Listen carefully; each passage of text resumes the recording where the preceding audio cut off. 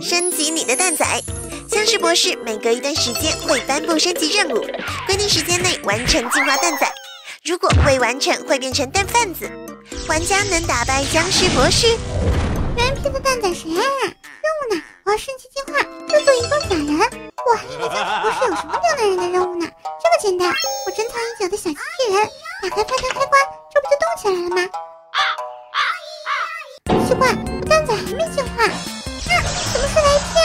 片？僵尸博士连成型都没。你那是机器人，不跟你解释了。我可不想变成饭蛋子。你看好了啊，先用方块做个稻草人，咱们再让这个稻草人动起来就好了。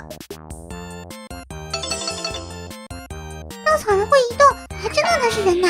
僵尸博士真坑人。你别整天欺负稻草人啊！这稻草人有生命、有感知的。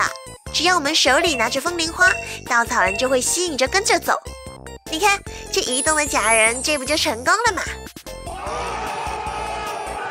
我错了，原来稻草人也有生命。嘿，我升级成仔仔熊啊！还有了炸弹仔的技能，可以满大街丢炸弹，这也不是僵尸博士对手啊！新任务来了，有水的烈焰星，这个我知道，发射器造水法，而且物品还没完全被删除。他们遗迹还保留了很多老版本的方块，这里就有发射器。面，在哪都能放置。大家看我表演，我踩我踩我踩！大家看到水了没？没有，倒是有很多的闪电冲天而降。表妹，你是失忆了吗？官方早就把这个修复啦。僵尸博士肯定知道，给我们指定不可能完成任务，就是想让我们变成蛋贩子。嗯，僵尸博士确实是这么想，但他不知道烈焰星还存在古老深水秘法。你忘了水的物体有很多，比如说冰块。冰块高温化水啊，牛顿来了也不行啊，是不行。但我刚啊在沙漠地下城顺手拿到了液化剂，而液化剂溶解冰块后就直接变成水啦，任务不就完成了吗？液化剂还能这么用，真是被你玩出花来了。我现在变成失心熊了，不用再进化了，因为僵尸博士脑子瓦特了。你想看旋转的子弹？我想跟直直的子弹差不多。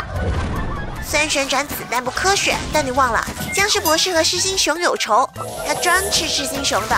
你这不是妥妥的送人头吗？而且僵尸博士开挂了吧？在他面前扛不了两刀，不挣扎了。吃了狮心熊，还把狮心熊变成蛋贩子，都是阴谋。你跟我来，说不定我能够做旋转的子弹。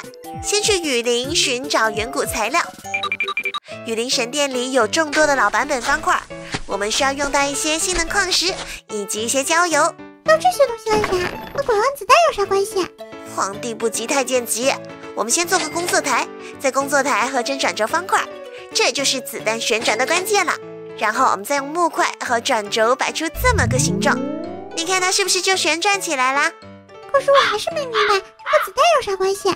接下来就是见证奇迹的时刻，我们拿出激光枪，对着旋转中的方块开枪，你看是不是就转起来啦？拐弯旋转的子弹不就成功了吗？得亏牛顿已经走了几百年，不然我怕他来找你。现在我们已经变成了终极蛋仔，可以发射核弹，一百个僵尸博士都不怕的。僵尸博士，一雪前耻的时候到了，史诗级加强的我，你不再是对手。这核弹技能就是好用，僵尸博士根本没法近身。